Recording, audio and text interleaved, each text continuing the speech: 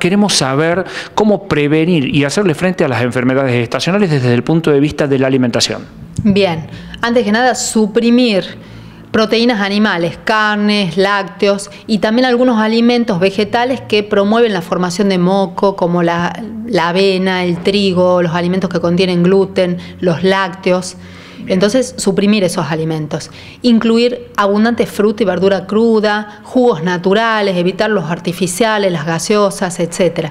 Tomillo, el té de tomillo, con un poquito de jengibre, bárbaro para los procesos respiratorios, para disminuir la tos, el malestar a nivel respiratorio, la cebolla, el ajo crudos también, el propóleo líquido que se toma a razón de una gota por kilo, dividido en dos tomas diarias, el propóleo el 10%, salvo en alérgicos, no tiene ninguna contraindicación en niños a partir de los dos años hasta ancianos.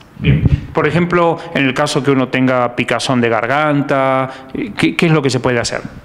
Para la picazón de garganta, el propóleo es muy bueno. Jengibre, masticar un pedacito de jengibre, hacer un tecito de jengibre, se puede agregar tomillo, manzanilla, clavo de olor también. Para cuando uno tiene el pecho cargado.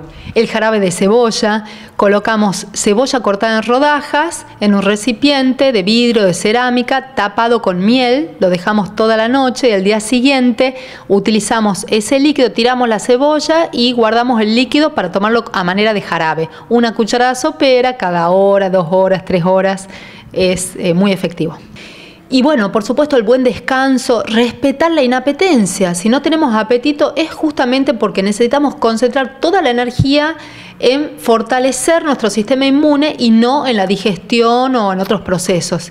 Y bueno, hoy cobra más vigencia que nunca el viejo aforismo hipocrático del año 430 a.C., que tu alimento sea tu medicina.